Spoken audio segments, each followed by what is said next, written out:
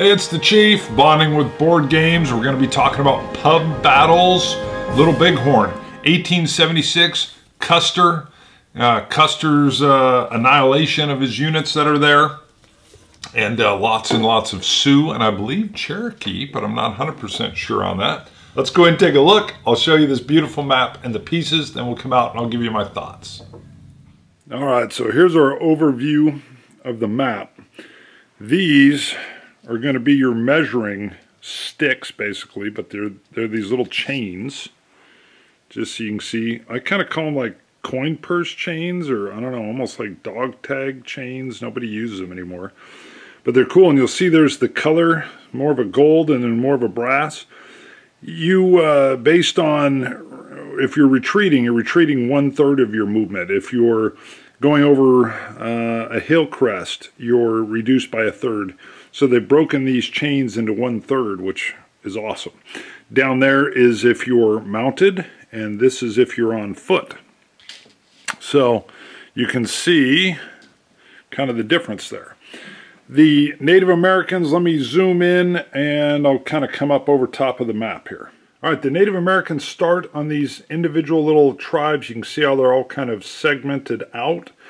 And you're going to blindly write down on a, we did it on a post-it note, which one of these tribes are actually going to be present. We just went by color. Now, they could all be present, or you might decide to only have this one, the light blue, the dark blue, and the yellow in. So that's written down, but this is what is full open view. So uh, these are your non-combatants, your civilians, children, uh, old people. Uh, this is kind of like their command counter, their tribal marker. It also counts as uh, basically a battle piece, a piece on foot, uh, because later these will be guys on foot, and these will be mounted, if I can get it to focus, mounted warriors that'll join in. The terrain is key. You'll see you have a river, you have the forest. So if you're in, uh, if you have a piece in forest, uh, the attacking party that's trying to attack you in the forest is going to have a minus one of their die rolls. I'll get into combat in a little bit. Um, it's also harder to move through forest. It's harder to move through ridges, which you can just see right here. When you cross the second part of that ridge, you've basically gone up onto another level and that will cost you a third of whatever your total movement is. And if you're going to cross a river and you're not crossing at a ford, you can see there's a little tiny ford there. It's a little shallow area. If you're not crossing there, it halts you in the water, and boy are you exposed if you're attacked in the water. I believe this arrow is showing which way the river runs. Doesn't really matter for the game. Um, and then if I pan not too quickly, See if I can get up here. I'll show you where the cavalry start. Uh, there's a little cross up there. I don't know if that's where Custer and them finally died or what the significance, significance is. So up near the compass spot here, let me zoom in and I'll show you that that is where you see this little outline. That is where Custer's troops, the battalions, have to start in this box. And let me pull back out and I'll show you the units before they go on the board. All right, just a little more of the bits. Uh, they all function the same. They each have two uh, mounted warrior units. Um, when a tribe over here comes into view, you'll just take all of these and place them uh, in their little tribal area. The dice that they'll be rolling, these discs, uh, I put them in a bag. It says put them in a cup, but you draw them out, and this is how the turn order is going to set. And it looks like I'm missing one. So I'll have to go see where that is. Uh, but you draw them in, and that's what's going to determine who goes first. And then there's some interesting rules on the cavalry because of their training and expertise. They can sometimes they can get to go first, or they can refuse to turn and go later. Uh, you'll see their die, and then I have them set up in their individual units up here. Let me zoom in on that. So you can see the individual units. These are their headquarters, their command pieces, and these little pieces here, these gold ones and then this one for Custer, are going to be in the square that's up at the top of the map. And this is the only information. You're going to put all of them on the board, so whoever's playing the Native Americans isn't going to know if you've only picked one battalion, two, three, or four. You might have all four in written down on a piece of paper, but you're going to have all four displayed, so there's a little fog of war. And there's a cool little rules section that if uh, you decide you're only going to do one battalion, you got to do them in this order. So it would be just Custer's. If you did two, you'd have to have Custer and Reno's battalion.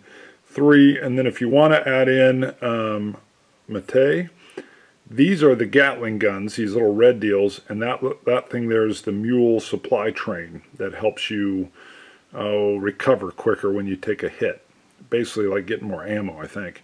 Um, so if you want all four, you just write down and bringing all four of them in, and then you're maneuvering on the board. All right, I'm going to bring some of the paper on, just show you real quick. So when you get this, this is your uh, multiplayer, uh, how you're going to handle some rules. But the first thing this does is just identify the pieces so the command chits go in the cup or the bag. Your headquarters are the ones that will be placed on the board. Fog of War, same deal with these guys and the non-combatants, and it tells you the number. Also tells you how you're going to sticker them. So the Native American pieces have a natural wood finish Whereas the uh, Trooper pieces, if I can bring one on, they have a lacquered kind of navy blue finish. And so you're going to then label with stickers each of the pieces just to match this.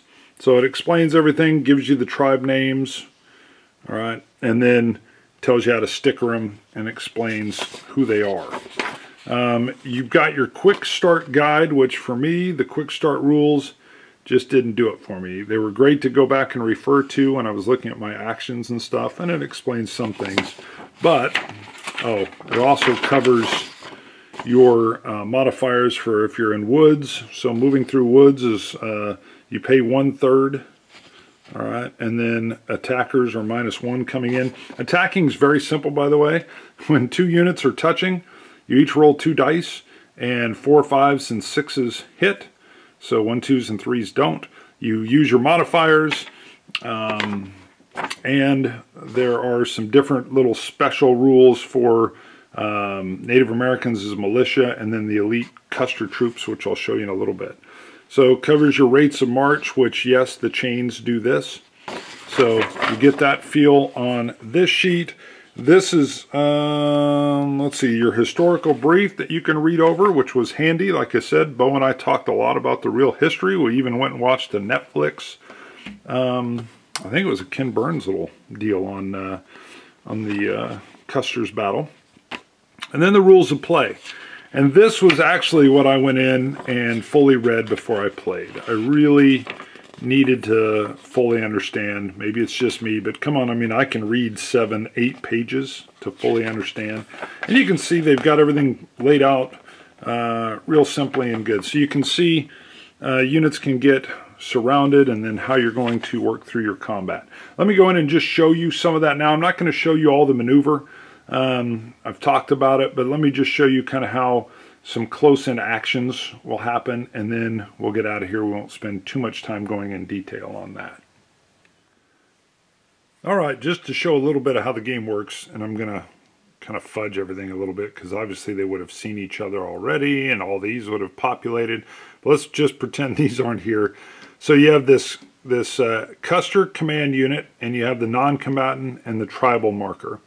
Once they're within a mile of each other, and there's no terrain in between so you can see these are mountains or ridges and woods so there's no terrain in between they're within a mile of each other they can see each other and you will populate them. So all of these um, warrior pieces will come on. So um, facing they would come out. Generally they're going to protect these non-combatants. So you'll literally just put these on I always have the arrows doing the facing and I'm not going to go fiddle through that now, that'll drive me a little crazy not having them done that way. And you have to put them down within one third, so one of these pieces of each other. Same thing's going to happen with Custer's unit. Now this headquarters piece actually counts as a combat unit. They're not just like a command and control piece. Obviously Custer and them fought. Again, ignore these up here, pretend they aren't here. Let me do this to make it easier. So one of the keys of this is if I set these units up like so, all right, you can see if I did this, a Native American piece cannot cross through the line because the block can't fit in between these blocks. However, if they were moving in their movement phase, and I'll get into those, you can see he could move through here and he could come all the way through in the movement and I could actually get multiple units that would have been able to come in and while sitting flush they could get everywhere but right to Custer's front. So I wouldn't be able to move the Custer piece so that nobody could come in on this side, but they would be attacking him on three sides. The other thing I would I will tell you, I've got them face up, but this would be their as if they'd been hit. I'm going to get into that in a second because I'll show you. So I would have actually done something like this or even had Custer because he's a combat unit as well doing something like so. All right, and by putting the ridge to my side, this unit may even be protected because the Native Americans wouldn't have enough uh, movement because it would cost them one-third their movement, sorry, that's mounted, to get up onto that ridge, more than likely. All right, so they wouldn't be able to even come around and flank me on the ridge because it would cost them too much movement to come up onto that hill and then to come back down, which is true to life. Uh, if a unit's forming up and they have a natural barrier, uh, a hill, they're going to use that hill to their advantage. So what's beautiful in this game is the placing, the spacing matters. And now if the Native Americans came up to fight, they could only do one-on-one -on -one as they came up excuse me, as they came up to battle. And I'll show that. You could even have a, a mounted unit. Again, the mounted units are going to move further, um, as shown by those little, by these little deals here. And the other little caveat is once the cavalry troops are engaged in combat, they no longer move in their mounted form. They only move on foot uh, either showing that their horses run away or they're exhausted or whatnot. But this is the form you would see for movement and then into combat. All right, just to show, um, I'm gonna, the lighting's terrible, so I'm not gonna have this on here, but I'll cover this. So the first thing you're doing is you're placing, so when you begin a turn, you got these command chits. All right, every unit has one. You're gonna place them in a cup, place them in a bag. Uh, those are all placed in there. You're going to pull out these command chits, and that's going to allow, this would allow the yellow Native American uh, units to move. This first key point is just for the movement. Now, when I put them down off to the side of the map, I list in order so I can remember the order in which they were drawn.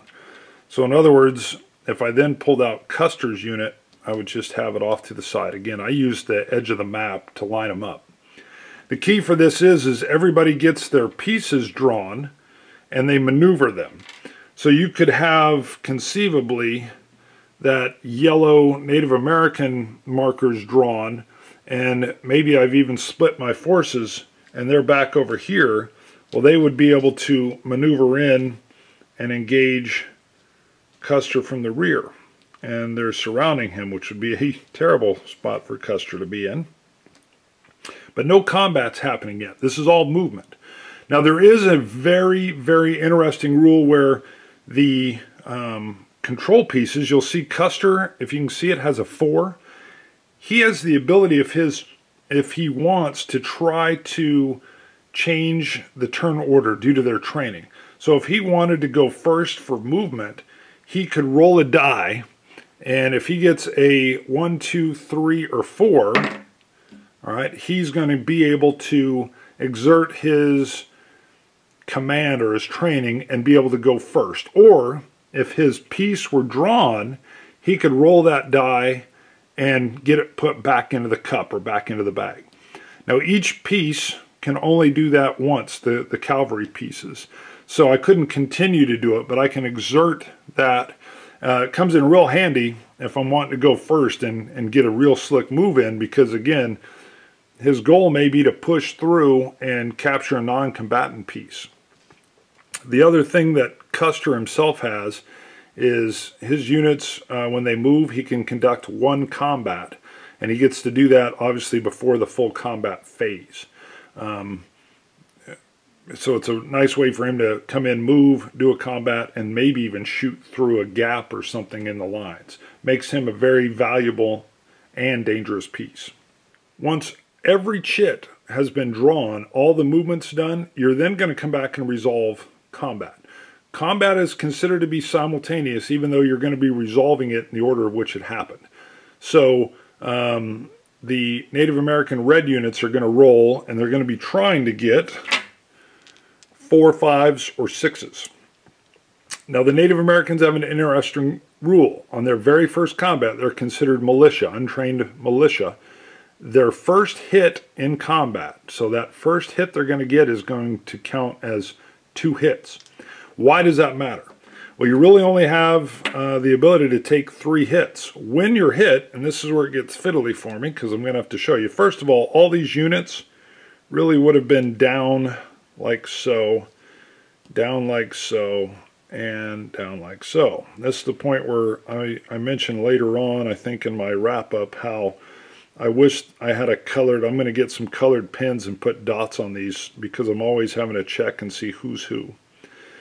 So if this red unit attacks and gets a hit on this unit, you would flip it up to show that it's taken a hit. On its second hit, it must retreat away from the battle. If it either can't retreat or it takes a third hit, it's destroyed, it's wiped out. So on the very first hit by militia, you can see it's shocking because you could literally have a unit overwhelmed quickly and destroyed. But let's just say this unit only hit it once.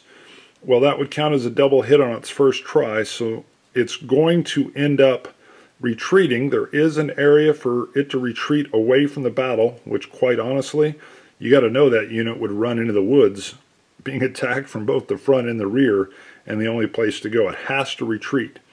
Now they can retreat through friendly units, but you wouldn't say it would retreat further into combat. So it would retreat to these woods. I guarantee that's where I would go. And that's where Pub Battles tells you is, come on, where would that unit go if it was hit, overwhelmed, and taking massive damage? You know it would peel off to the woods. If I was in that unit, I would call out rally to the woods and off we would go. But you're going to resolve this combat. Then you're going to roll and you're going to determine how combat happened here. And then this unit is going to roll and do combat against this. So you could see before they ever get a chance to maneuver, they could get wiped out. Let's assume, you know, they uh, they survive that combat. They have to retreat one third. You can see the nice coloring that happens here. And you can see he has to peel off and he goes into here. All right, I moved up right there. And you would just do the same for combat all down the line. Where it can get really interesting, obviously, is you can end up with a unit that gets surrounded on all four sides.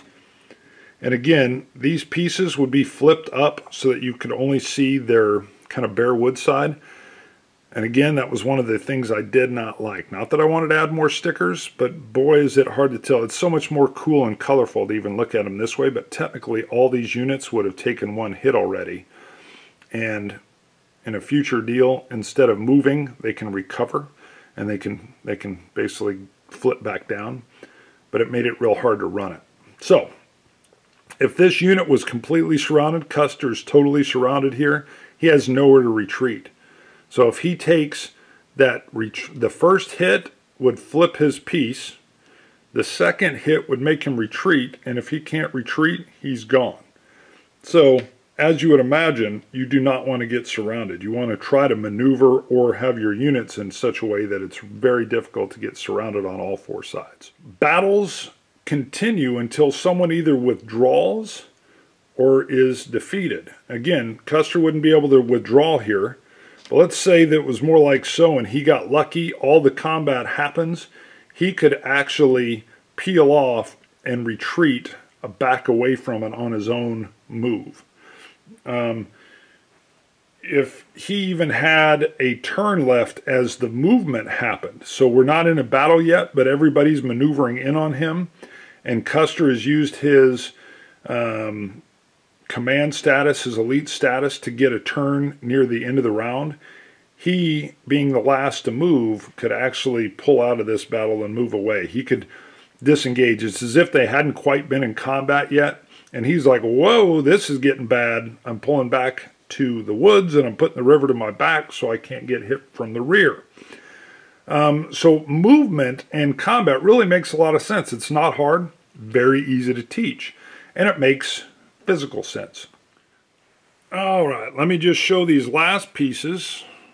Okay, focus. All right, Mate or Matthew, he brings his combat piece, his headquarters, his B company, and then he's got two Gatling guns, and whoops, I didn't grab, sorry, his supply. All right, if you have all four uh, battalions in there, you're going to be able to bring these guys in. So let me tell you how the supply and the Gatling guns work. Let's just put them up on this ridge. All right, so how do Gatling guns work? They can fire the distance of, they call it a trooper movement on foot. So they can fire this distance. Now you can't have any friendly troops in the way. And um, if a unit, instead of moving, they fire. So they get to fire in that earlier phase, which is really nice. So they would be able to fire on these and on these. And what you do is you roll two dice for each one that's in range. Now, uh, the standard rules apply. Four, fives, and sixes are hits. So let's just say this unit had not been hit. If it were to take one hit, it would be flipped up. If it got hit again, it would have to retreat um, away, half a, a, third of a move away from the battle. And if it got hit, um, if it was already in one of these states and it was taking that third hit, it's eliminated, it's killed. So you're simply rolling. So that would have been two misses for that. You can't even see. The second you get a one, that gun's jammed and it's done firing. okay? And that happened to me a lot. So then the next gun's going to fire and it's going to do the same thing. So you could see it could be devastating or it could have very little effect. Um, and if the Native Americans were to get their movement and they're able to move up and simply touch or engage the Gatling gun in battle, it's immediately lost. It has no other capabilities. It's overrun and it's destroyed. So again, you could see where the trooper's ability to try to exert their authority and go first or go early uh, you might have uh, Mate, Matthew, roll and say, yep, you got a three. His command status is three, so one, two, or three, and he could take his turn first and get that firing done and try to clear these troops. Supply is very cool, very crucial. If you are within a mile of the supply, so again, you're going to use your foot chain here, there's a mile marker right here, and yep, basically a little bit shy of the full mounted movement. But if you're within a mile of this supply chain, when you move, you get a free recover. So let's say these guys being displayed have all taken a single hit. If it, if it was their turn to move and they wanted to pull back, normally you have to stand and just recover all right, and you would recover and be full and fresh, but you wouldn't be able to move as well. These guys would be able to, because they're within the, the supply train, would be able to recover. So let's flip down and move, and let's say they came over to defend that supply train. So all of these guys could disengage, recover, and move, which is phenomenal because you're always stuck. If you're not near a supply train, you're always stuck saying, well, if I don't recover and basically get a hit point back, I'm going to, you know, they're, they're going to be so easy to kill. And you end up always trying to uh, recover them and not move. But if you've got that supply guy near you, you get the recover and move action.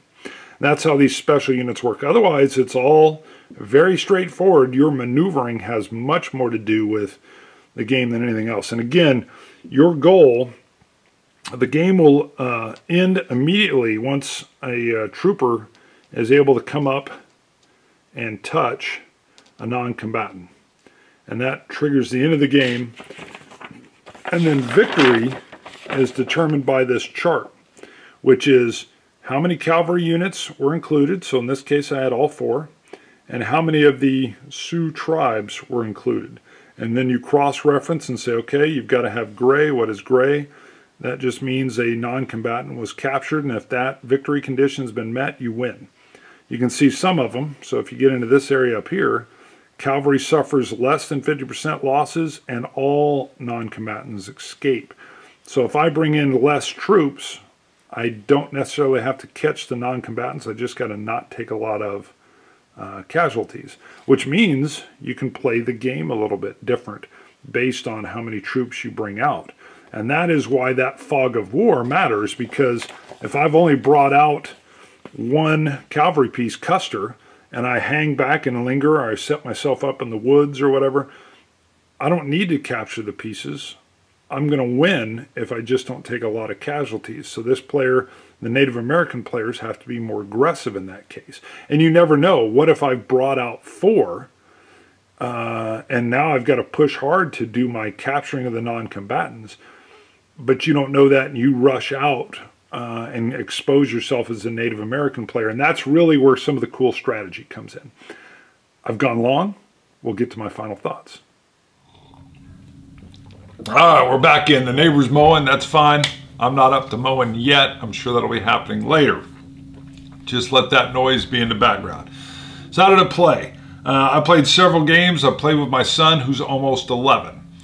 This is his first foray into what uh, Custer, who Custer was, uh, into uh, he knew as soon as we sat down and played and I explained the rules, he was like, okay, he wanted to be the troopers, and then he had a little trepidation because he'd had enough education from school. He and I never talked about it. That he says, I don't, I don't know if I like being the troopers. Why are they wanting to go put these Native Americans on reservations? Why don't they just let them be? So we paused the game. First of all, that's great. That's what I love. This is now turned into a learning experience. So we talked, we had a discussion, um, and it really kind of ended with the brutal acts of what war is and how there's atrocities on both sides. And I hope I've prepped him for when he goes into school, because then he was like, I'm definitely playing, I'll stay with the troopers. Later on, we switched it in a game, and I played uh, the Troopers. He was the Native Americans. And again, we'll get into more of that probably in a playthrough. But it was a great teaching tool, and the rules allowed him to do what he wanted to do as the commander. The little chains that uh, that I've showed you for doing um, distance marking were so much better than, I mean, string would work, but the chains worked really well because right off the bat he was moving the chain around to make sure he didn't go over a ridge and then down the other side for no reason and waste a third of his movement. Genius. He's literally snaking it through and saying, okay, I can get to here, and then he's moving his troops. So very intuitive. I love the little keychain things. Awesome. Those worked great. Um, the four turns that the Native Americans can't move, he struggled with that. That was fine with me. I was watching him, giving him tips when we flipped it around. And now he's moving. He's like, when do I go? When do I go? So I tried to go as quick. I knew my plan and I just tried to go boom, boom, boom, boom, boom, boom, get my guys moving. He saw what I was starting to do and I could see his mind ticking off and that was perfect. But that Native American player has to be patient. By the way, we only played with two people, obviously. The game says every everybody, you can have one person play a single battalion, or you can have one person play a single tribe, um, which, which I don't, I, I wouldn't want to do it with 11 people. I could see doing it with four, maybe even five, but I think it would degrade down a little bit. But who knows? It'd be a great teaching tool, so I'll say that. So, skipping ahead, it plays fun. It plays light. The way you splay out your troops, and and your if a, if an enemy block can't fit between two of your your blocks, uh, then they can't move through there. You've formed a line. You've made it so that you can protect your flanks. Perfect, beautiful. That's what Pub Battles wants to do: is show you how you how you can protect your flanks. Heck, how you can refuse your line even if you bend it back. I mean, it's perfect. Um, battles are quick, the way they flood in on you, and then you fight until someone decides to withdraw. The fighting is brutal. Uh, it it it feels like what those guys would have gone through when when you're the troopers. You feel the pressure of massive amounts of of Native Americans just coming in on you. And I remember thinking, why didn't Custer get out of there? At one point, I pulled my guys into the woods. They took a hit, they recovered, someone retreated into the woods, and I thought, yeah, pull them into the woods.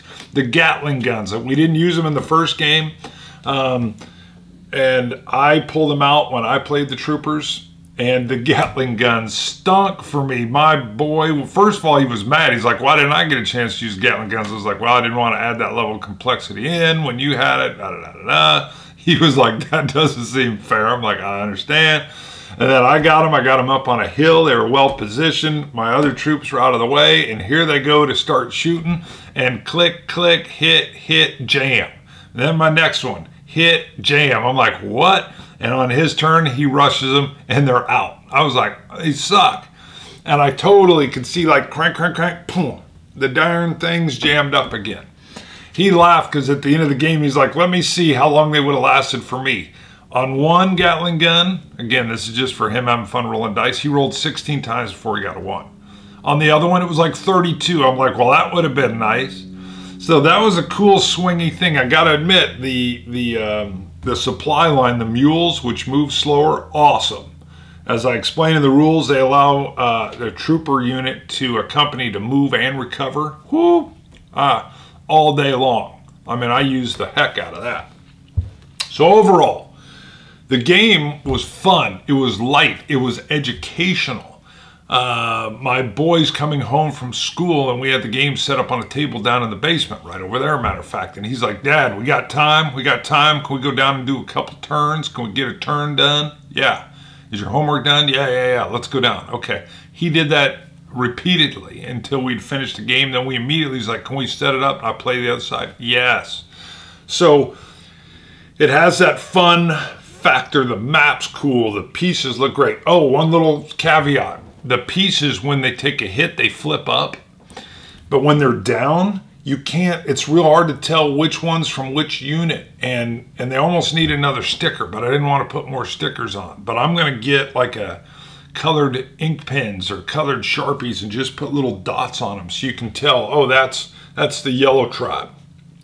Even though they're down, you can, it's, it was real hard. You kind of had to move pieces and say, which group's that in? That's the only thing I didn't like here is it was fiddly because when they're in combat, they're touching each other and sometimes you couldn't see what unit. Or I couldn't remember, you know, I know uh, Alpha Company is with uh, Custer, but I could never remember like who's I Company with. Is it, are they with Reno? Are they with Benteen? Who are, I'm like, uh. Um, and if I could have had colored dots even for the troopers, it would have been phenomenal. So I'm going to do that. I didn't want to do it with stickers. I'll do it with an ink pen. That's probably my biggest negative. And then the quick start rules, I not really functional. I want to know how to play. The rules are simple. The rule book is simple. You've seen it. Um, just read that. The quick start didn't get me quick started. I was more like, what? This doesn't really even tell me how a phase goes, or not a phase, but love the packaging. Love the materials. It's expensive. This was a review copy. I didn't pay for this, and I believe it's $89. And a lot of people I've talked to are like, yeah, it looked interesting, but I'm not paying that much for it. You know, the map is high quality, and I believe that's where most of your cost is. That map is going to last for a thousand years. Okay, maybe not, probably. It's plasticized canvas is what it looks like. So I know it's a little pricey. Um, I love the look and feel. I actually think I'm going to display this game back here on my bar because this fits in with how some of the cans for whiskey um, in order to protect them. So, uh, but those are probably the only two negatives is I had some friends of mine say that's too expensive. Uh, they wouldn't pay that much for it. Um, and then a little bit of the fiddliness. But boy, was this fun. And that's number one, that Pub Battles is really going for fun, quick, easy to learn and the, the, the fact that what decision would you make as a commander? Not, well, can I move five hexes? Uh, they don't have hexes on their map, as you've seen. It's more like, well, I want to do this. I want to go there. They talk about Kriegspiel, uh, the war games from Germany, how they how you were moving miniatures, but they wanted to simplify that.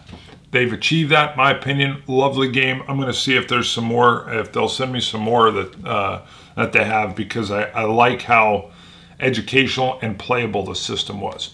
It's the Chief, bonding with board games. See you guys later.